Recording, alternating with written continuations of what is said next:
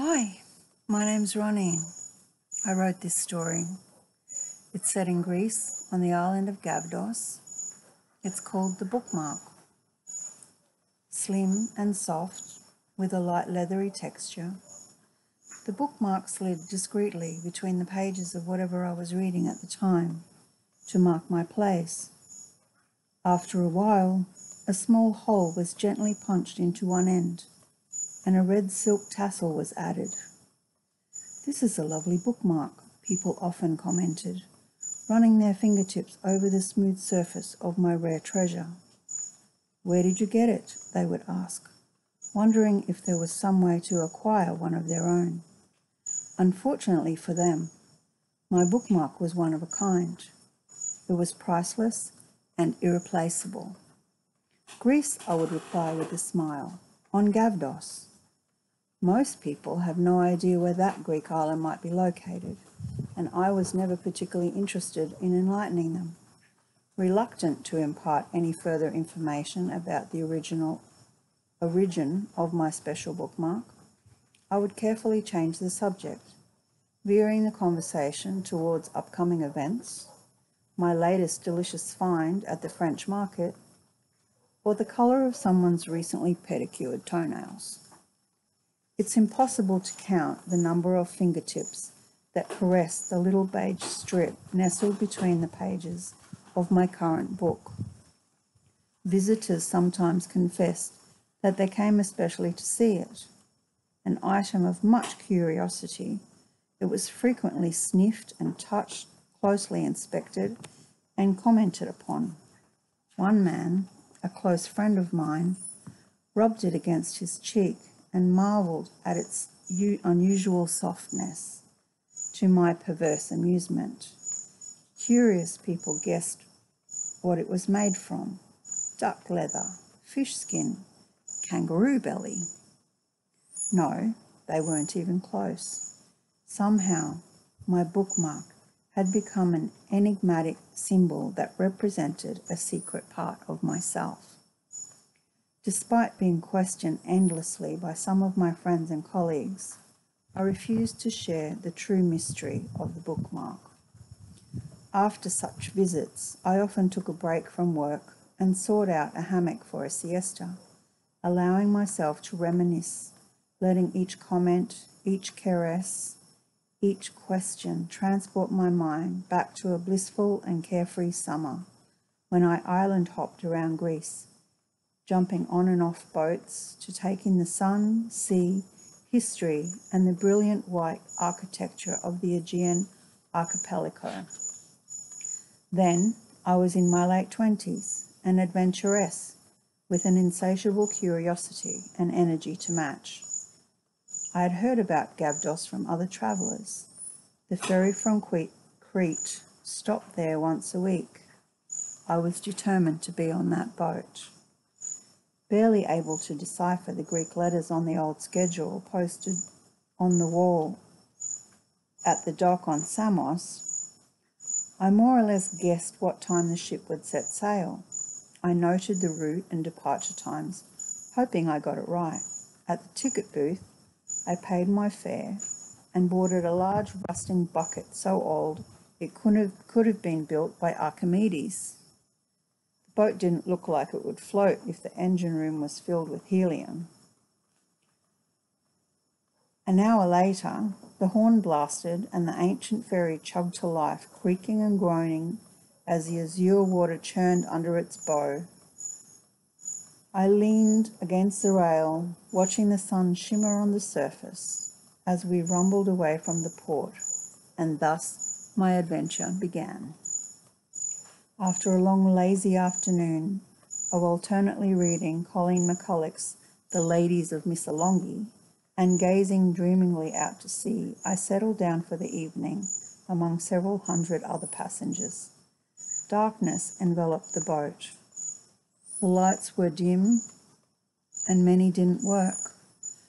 Preparing for a 30 plus hour journey across the water, I rolled out my sleeping bag and slithered inside snuggling against myself for warmth as we crossed the Aegean Sea, sailing from one iridescent Greek island to another. Some pas- passengers snored in their seats. Others draped hoods over their heads and leaned against the railings, and many, like me, had brought sleeping bags in which to spend the night. The boat shuddered and rolled. The diesel engine coughed and spewed black smoke behind us as we inched forward, crawling through the dark sea towards the next coastline. Patmos was the first stop. The boat emptied at once, backpackers and tourists pouring onto the dock to explore the island's historic centre, Chora, the monastery of St. John, the Theologian, and the Cave of the Apocalypse. Within minutes, a few passengers boarded, and the boat chugged away from the small port. At Amorgos, the easternmost island of the Greek Cyclades, I barely stirred in my sleeping bag, vaguely aware of docking, the rustle of a couple of people disembarking, and the lumbering ferry continuing on her journey, lulling her snoozing cargo into deeper sleep with the rhythmic drumming of her engines. In the morning, I felt like I had dreamed the second stop. At dawn, a shrieking whistle roused still drowsy travellers, alerting everyone half an hour in advance that the dock at Thera was in sight. If I squinted, I could make out the hazy shadow of an island just on the horizon. All around me bubbled the chaos of passengers arranging their belongings, ready to disembark. Mumbled words tumbled incoherently from a loudspeaker above our heads. It was all Greek to me. Leaning against a cold metal wall, I watched the action with interest. On Santorini, the sun rose over the jagged peaks of the volcanic caldera, reflecting sharply off alabaster roofs that cascade dramatically down the rocky cliffs. A bell rang in the distance. Two men shouted at each other, their gestures violent as they negotiated a suitable price for fresh fish. The dock was a hive of activity. Mustachioed men ran around yelling orders, Teenagers in cloth caps carried boxes and passages, packages. A stout woman in black waddled up the ramp with a covered hamper in the crook of her elbow. Vendors carrying wicker baskets laden with breads and pastries hurriedly came aboard. Tiny tubs of creamy yogurt, slices of salty feta cheese, and fat black olives suddenly became unexpected choices for breakfast in sharp contrast to the soggy sandwich offerings from the ferry's cafeteria. One lady sold polished red apples. Passengers clamoured to buy what they could. In, in a short time, a bell rang, and the vendors vanished from the decks within seconds, as if magically dragged back to shore with a powerful magnet. A few minutes later, the horn blasted, and the ferry pulled away from the dock. The craggy island began to fade into the distance. Soon, nothing more than a fuzzy haze across the water. That day was hot, without a single cloud. Heat reflected off the heavy steel bulkheads and seeped into our skin. Clear turquoise water glittered all around the ferry. Apart from one tiny island in the distance earlier in the morning, there was no land in sight. We were adrift in the middle of nowhere. The engines chugged relentlessly while sweaty passengers chatted. Seagulls visited periodically. After a pigeon bath in a tired bathroom sink, I changed into shorts and a tank top and found a shady spot with a breeze to lie down and read. It wasn't long before I was dozing again. In limbo between here and there, I drifted in and out of sleep, sometimes awake enough to eat what was left of my travel rations, sometimes sleepy enough to continue my dream. Mid afternoon, the horn blared again. My mind still blurry from too much slumber, It didn't register until we were approaching the dock. Reef no? I asked someone nearby. He shrugged and turned his back. I asked a dozen people. Rethymno? Finally, someone confirmed the destination. We were indeed arriving at Rethymno on the island of Crete. Just then, nature didn't just call, it screamed blue murder. Aware of the urgency, I hauled my possessions into the bathroom, struggling to get my backpack inside the minuscule cubicle and tended to my explosive needs. The boatswain's whistle pierced the air. In trying to hurry, each second felt like an hour. The whistle shrieked once more. Finally done, I raced towards the exit ramp. As I ran, I saw the lumbering steel ramp coming up again, ascending towards the boat. I ran harder. A crew member ran towards me. I could see he was going to stop me from running off the boat. Time stood still for a moment as I measured the distance between me and the beach and the distance to the man running towards me. I have to get off, I yelled and ran full throttle along the ramp. It was two meters off the ground when I leaped into the air and landed on the beach. I lost balance and dropped onto one side lying on my back like a stranded turtle. The man on the boat cursed in Greek for a full minute, then disappeared behind the rising ramp. Water churned and bubbled as the boat's engine revved and it turned towards the sea. Rolling onto my knees, I smiled and waved back at the irate crew member, giving him a thumbs up. His dark scowl did nothing to enhance his misshapen features. He waved a fist and cursed some more. The two men beside him laughed as the ferry pulled away from the ramshackle dock. At the bus station, a man in a white cap offered to take me and three others to Chora Sfakion in his rusty old jalopy. The bus trip was four and a half hours.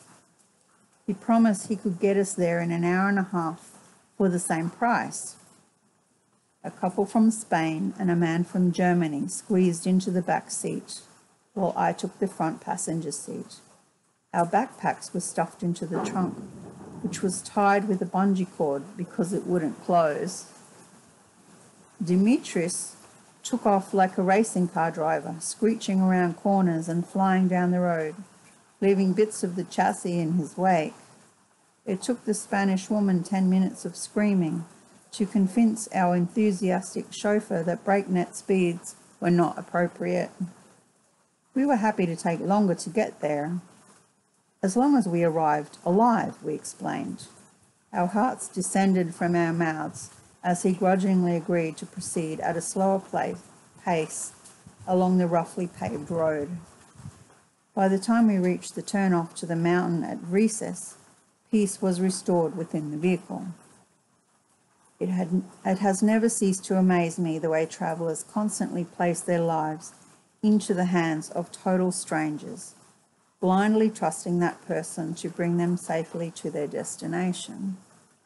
Demetrius navigated corners and curves, his car creaking as it strained to make the turns, driving slowly up to the village of Kares until the plateau of Askifou spread out before us, surrounded by the peaks of the White Mountains.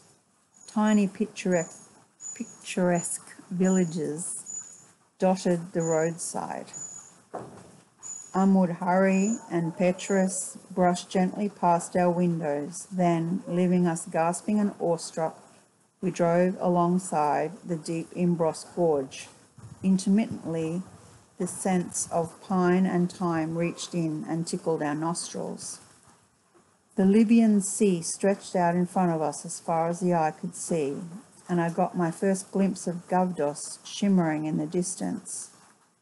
Finally, we braved the 12 kilometre descent through a series of hair raising hairpin bends, the road doubling back on itself and twisting like a snake all the way down to the coast until we finally reached Chora Sfakion where the vibrating vehicle came to a shuddering halt. The Spanish couple kissed the earth and vanished post haste. The German clicked and clucked, grabbed his rucksack, and marched stiffly away. Thank you, Demetrius, I said with a smile as he handed my, me my small day pack. Welcome, he replied with a big cheesy grin, shaking my hand. I see you when you come back. I take you where you wanna. Let's see what happens, I countered, not willing to make promises or take any more chances on my life. Shouldering my bag, I went to find the ticket office for the Gavdos ferry. It was closed until the morning, but a timetable assured me there was a ferry scheduled for the following day. I checked into a nearby hotel, the name of which escapes me, and spent half the night itching and twitching. Even the bed bugs were flea bitten. Disgusted, I scrubbed myself, top to toes, under the whining shower head, and, despite the warmth of the night, crawled into my sleeping bag, preferring to sleep on the floor as far from the infested bed as possible. The moment dawn broke, I was out of there. Around the corner was an open cafe offering thick homemade yogurt and fresh fruit for breakfast, served by a cheerful, rotund woman with pink cheeks and a brilliant smile. As the village gradually woke, shutters opened and faces appeared in the windows. Goat bells rang, dogs barked, ducks clucked, and a motorbike roared to life. I sat for hours, leisurely observing as locals came and went about their daily business. Just before the appointed time, I headed back over to the ferry ticket office where a pleasant lady stamped my ticket and said I could wait inside if I liked. The ferry to Gavdos was leaving in four hours. Content to wander around and explore the village, I left my bag at the ticket office. I walked along the main street, past the tavernas and mini markets, the butcher and the bakery, towards a quiet beach just, just west of the village, where I stretched out in the shade and caught up on a couple of hours' sleep missed the night before. I made a mishmash lunch of bits and pieces I bought en route back to the dock.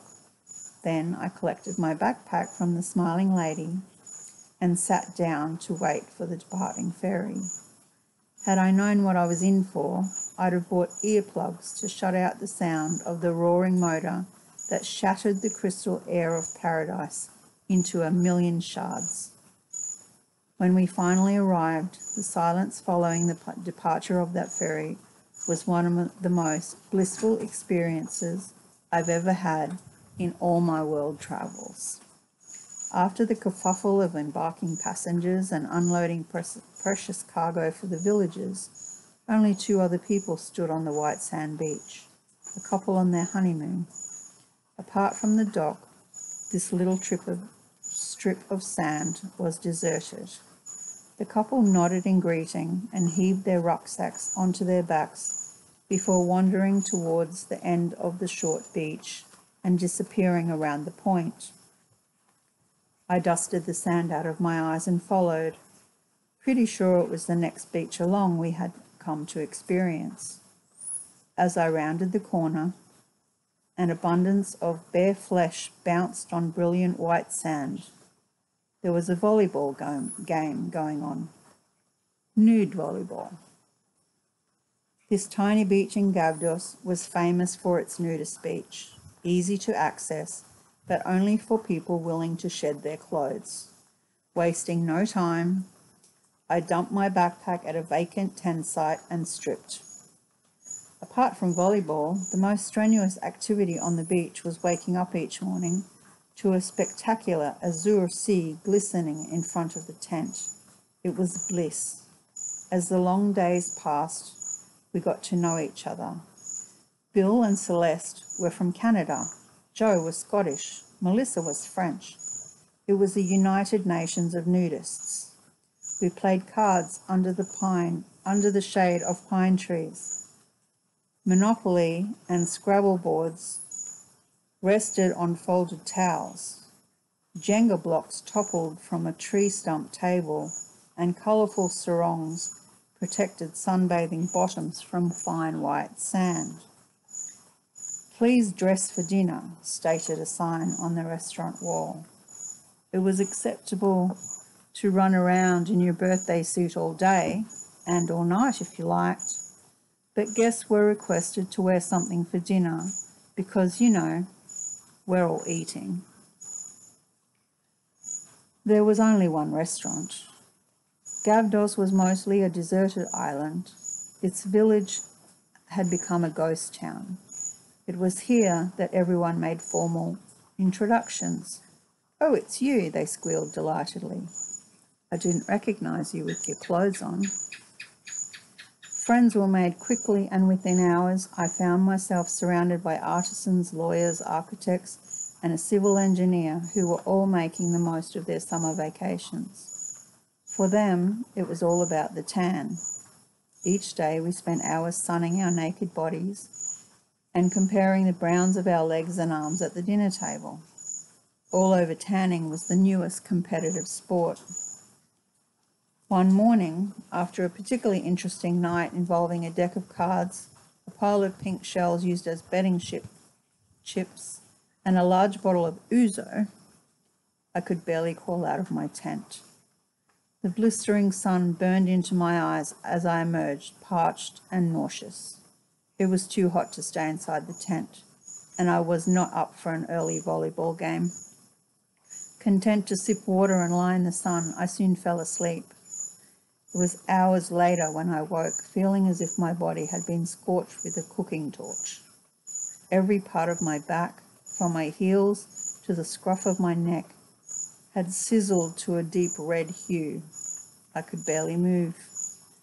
The next week passed in a blur of searing pain and a variety of international burn creams.